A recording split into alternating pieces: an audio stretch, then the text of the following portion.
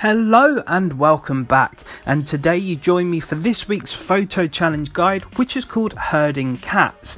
Now, this one wants you to photograph any jaguar at Farid Rueda's Lion mural in Playa Azul.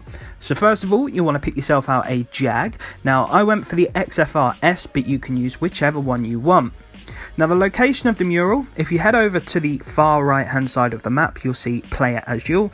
Now most of you guys should have one of the player owned houses at this location, but where you want to go is right next to the Goliath race.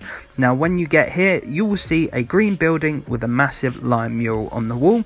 Once you get there, as long as you're in a Jag, it can be any Jag you want, snap your shot in front of the mural and it will pop up with the two tick boxes, both of which will go gold, have you completed the actual sort of challenge. So really, really easy. Uh, nice mural to find and a simple challenge. Now, if you're struggling with anything, just let me know down below in the comments. But hopefully, this has helped you found the mural in question and complete this week's photo challenge. If it has, I would very much appreciate if you could drop a like and subscribing to the channel massively helps me out as well. But apart from that, want to wish you all the best.